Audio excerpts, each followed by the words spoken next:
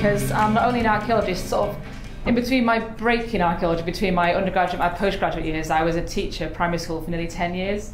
Um, so I'm looking at this both from the perspective of an archaeology professional academic, but also as an educational professional in the mainstream um, pre-18 sector. Um, and the way I see it is that outreach in schools, it's not just a good way of getting kids to maybe want to be archaeologists one day. It's also a good way of spreading the message of how important and like going back to that discussion just how, how relevant archaeology is to the general public and to people in their everyday lives. And it's sort of like it's a way of gradually increasing public knowledge and public awareness of it in a way that sort of it's a soft way of doing it basically. Um, so, is there a place for archaeology in schools? Um, I mean, obviously, we've had a lot of recent things with things like the A level being scrapped, and there's so much pressure in schools, a very intense pressure, especially in the primary sector, for the key areas, obviously like maths, sciences, English, to perform in those above everything else, league tables and SAT scores. They are prior to every school, you know, you must perform in those. And, you know, when it comes to things like history or art or other subjects, they kind of fall by the wayside. You know, it's a project you do for half a term on a Wednesday afternoon occasionally. You might go to visit a museum, increasingly difficult now, they're closing the museums down you might get somebody to come and visit the school who's working for the museum service, but it's very sporadic.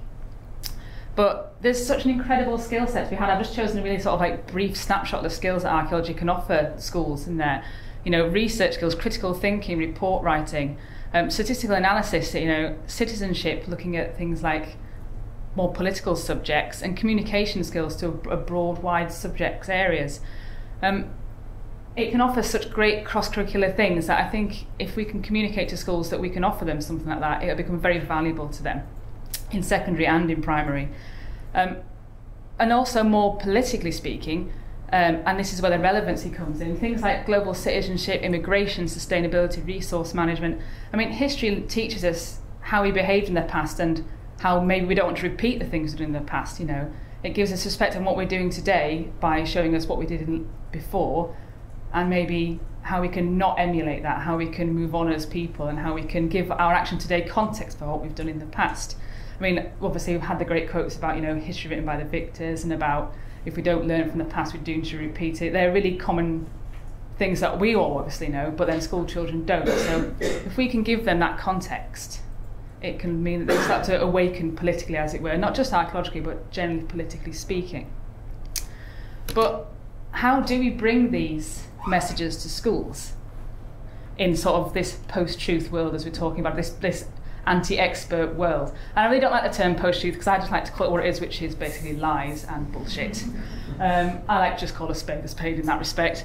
Um, when you come across this kind of attitude, well, this is the Twitter spat. Many of you might have seen it online um, between Mary Beard and Arron Banks, who's a UKIP donor, and he was basically like, "Yeah, the Roman Empire was destroyed by immigrants." And Mary Beard's like, "Well, hang on a minute."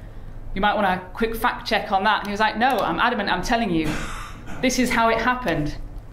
And she was like, oh, maybe, maybe you should quickly fact check that again. And he's like, no, I've studied it extensively. You don't have the monopoly on history, he says to the Cambridge Don of ancient history. Um, and basically, it later came on in his conversation that his extensive teaching was basically his teaching at primary school. Um, and he he thought that you know that made him the expert because you know, you know 20 25 years ago he learned that X happened in the Roman Empire and that he didn't have to listen to anything else at all because he might have been taught the basic of history but he wasn't taught how to critically analyze it. He wasn't told how to look at sources. He wasn't told how to look at it in different political perspectives.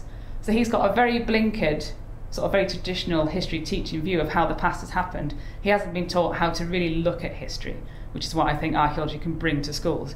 Um, unfortunately, we're up against this this anti-expert opinion in the mainstream press so much because politicians, lovely Michael Gove again, um, thinking about I think people have had enough of experts. And when he's when he's saying that, he's not really talking about academics. I mean, people have brought up today that there's not just experts involved in archaeology, there's public archaeology, community archaeology. These people get lumped in with the experts. If you're involved in a field, even if you're not a professor, even if you're not a qualified academic, you get lumped in with these experts because you're working in it, you give opinions on it, you give facts on it. So, as far as the press, the mainstream press concerned, you are an expert, you are the anti that they don't want to have to resort to when they're looking at something. Basically, they only want their own opinions. They don't want anybody's opinions who's involved in this field. Um, and Michael Gove did try and backtrack on this um, this same said, he said, oh, I was taken out of context. What I meant is the experts just need to know their place. I was like, yeah, good backtracking, excellent skills there. So how do we sort of fight against this attitude is what I'm saying. And basically, um, you've got to get them young. because the hardest thing, I know many people will know if they teach adults or um, old, you know, into mature students, is the hardest thing is to change an opinion that is deeply ingrained. If you know, if someone's got an opinion they've formed over many years of experience and life, it's incredibly hard to change that. You know, we if we do outreach and you're saying like we've got to appeal to like you know the core voters, older voters, it's going to be incredibly difficult to change their mind. They've lived their life, they've built their mindset. You know, they don't want to, and it, it takes an incredibly persuasive and incredibly hard work to do that. It's much easier to get in there when they're kids. They've still got open minds. They're still little sponges that want to learn. They can still learn these key skills of you know, critical analysis, looking at things differently, really getting into the ideas of things rather than just being told rote learning, this now history happened, you will accept this. They can learn these critical skills at a young age and start doing it. My son's probably going to end up being an archaeologist. I'm so sorry. He already digs up rubbish all the time, so he's getting there. Um, so our way in basically is through the national curriculum. Primary is probably much easier for us because the recent rewrites for the curriculum mean that they've got a, a pretty broad selection of historical periods that you know they are supposed to study. So there's some British history in there. there's a few areas of British history they got to cover, but there's also some worldwide things like the standard things like they can do Egypt, they can do a bit about the Roman Empire, they can do a bit about the Maya. I think there's a little bit about China in there as well. So there's gradually more in. So there's more scope for people who aren't just you know British prehistorians, who aren't just Roman experts, to go into schools and be able to teach about their subject in a way that really gets young people. I mean, it is unfortunate now they're having these discussions about the archaeology A level. And if anybody watched the debate in Parliament last week, you know that it was a pretty poor response by the government when called up on this, saying, look at these, these skills you're turning away, looking at these ways that you can engage people that you're getting rid of. The, the argument was basically, well, they can just volunteer if they want to get into archaeology, which completely ignores the idea that volunteering in archaeology is a way in for some, but for some it's financially completely out of reach. It happens away from their homes. They usually have to pay to go and dig there, even if they're on a volunteer basis. The archaeology A level was kind of a, a more level playing field for it to happen for them. So going into schools, for us, it's a way of taking it to them. Basically, you know, you can't take the horse to water, but we can take the water to them. That's what I'm saying. Um, and I'd like to give an example that I use in primary schools. And this is the story of the Amesbury Archer. So I do this in both primary and secondary. So obviously I change slightly what I do when I go in there. Uh, this is an illustration from a really nice book that's just come out by Jane Brayne. She's doing a lot of interpretation panels for various historic monuments for English heritage, historic England now. Um, and the book is the Archer Journey to Stonehenge. It's all about the Archer coming from Europe in, into Stonehenge and like what happened to his life and what he brought with him and things. And what I try and get kids to do is sort of like understand his story and understand the political ramifications of it as well. Even in quite young primary age, they get it. So I do things like I like have a huge sheet with the skeleton art, and I'll say, well, what do you notice he's got with him? You know, before I give them any of the details, I'll try and make them use their observation skills. And then I'll sort of tell them, well, well we can tell a lot of things about him by looking at his skeleton. I'll tell them a little bit about isotopes, vaguely what they mean, because you know the primary school kids aren't going to go into it I go, and then when you do this oxygen chart, it does this. They, they give them a few isotope charts, but give them the ones for the British Isles first and say, well, does it match any of these? Then have a bit of a discussion, a bit of a talk about it, and they come back to you and say no. And you say to them, well, here's the European charts, where do you think he might have come from? And eventually, when they match it up, they have this realization he's grown up somewhere else, he's come in to the country, and that feeds into this huge discussion about why has he come here, you know, what has he brought with him? Looking back at the artifacts, you'll say he's got gold in there, he's got some of the earliest metalwork, he's got different kinds of pottery yes, he's come into the British Isles. What ideas has he brought with him? What changes to society and culture could him and his relatives and his people have brought with him that has meant that we've developed and grown as a culture? You know, it's it's giving those ideas that, yes, you know, it. Some might call it propaganda. but what I'm trying to show them is that the narrative you're presented day to day in the mainstream press is not the only narrative that exists. Here are some sources. What do you think they are saying?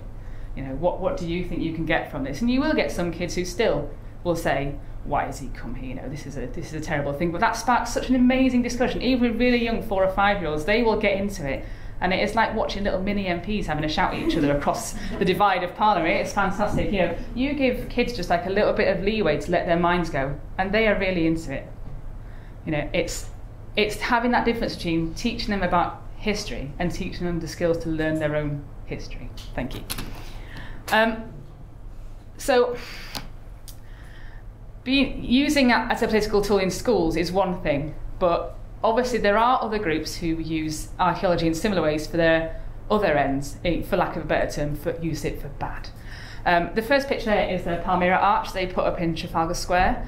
Um, and I wouldn't say this was necessarily used for bad, I think it's probably just misguided as to where I would say use it. Um, they recreated it, it's 3D printed, and they took it to various sort of locations, I think it was New York and somewhere in Dubai, I think.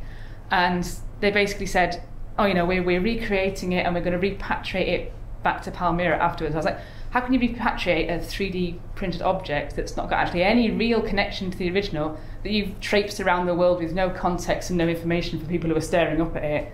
That's kind of a strange thing to do. So we've got to be aware that these narratives are used by other groups as well. And the second one is that some of the biblical archaeology, I can't remember the name of the chap, but basically he spent his entire life as an amateur archaeologist going into the Middle East, Near East, and looking at things like and saying, this is Noah's Ark, this is the, you know, the house, this is like the house of Jacob kind of thing. Um, and what it is really about is making sure that messages that get out there uh, by the people that are working on it, that we're giving quality and relevant information to people so that this kind of thing can quite rightly be denounced. But the public can look at that and go, hang on, they're not doing this, they're not doing this, why, you know, is this accurate? And somebody did mention Britain First earlier. I read their website, so you don't have to. Um, but this is the narrative they're using to talk about um, ancient Britain. Basically, they say that since the last ice age to now, we're like genetically identical for that entire period. And they say, oh, yeah, the Vikings, everyone came across and they gave us these great ideas, but they didn't breed with us or anything like that. It's this really strange genetic purity argument that they're going for. So, again, it's this fact that archaeological information can be misrepresented so badly and have such a negative message that we as archaeologists, you know, we're the gatekeepers of this information as a way, you know, we, we create this knowledge. We need to disseminate it in a way that people can appreciate it, understand it, feel it's relevant to them.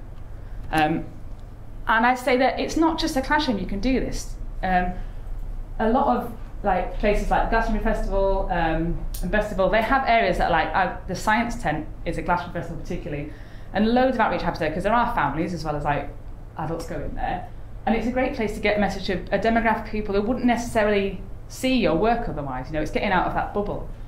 Um, I mean, things like the Social Science Festival, it is kind of preached to the convert a bit because they are people already engaged.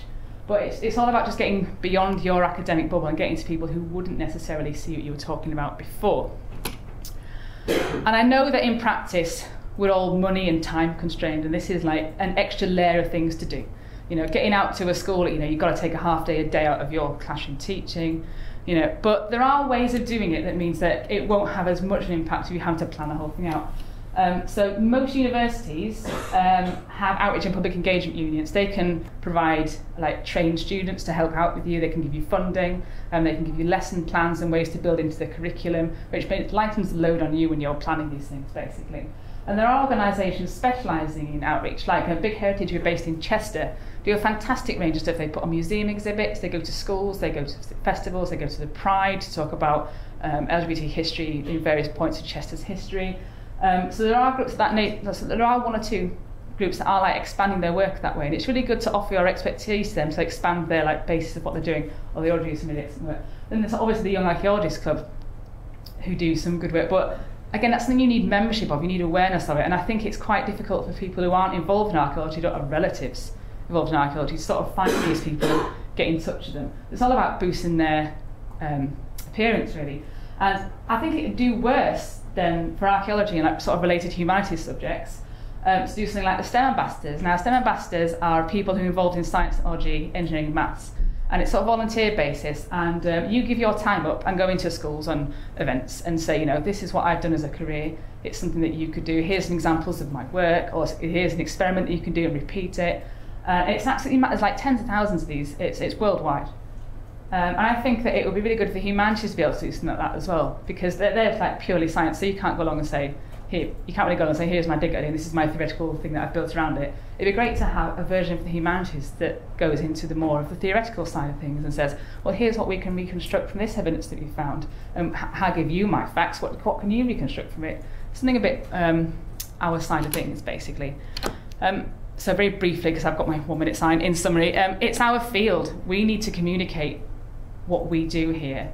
You know, we can't just uh, put out a press release and let the press run with it and do random and weird things like they tend to do. I know Sue's going to talk about Tintagel later, where the press went mental and it's King Arthur, it's King Arthur, it's his palace, and everything like that. You know, we're the best communicators and guardians of, of the knowledge that we're doing. And if we want it to get out there in a form that, you know, allows people to look at it um, clearly and allows them to see, you know, a good interpretation of it, we need to be the one who are communicating it.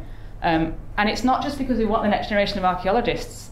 I know we're going to run against this shortage in HS2. We've got an ageing sort of like professional term. Um, but we also need a supportive public, and it's making our work relevant and engaging to them that makes them supportive, gets our image out into the public eye, makes them supportive of spending money on it. Basically, um, yeah, we need evidence-based, robust, engaging interpretation so that quacks can't use it basically and put their own images on it. And there we go. And that's it.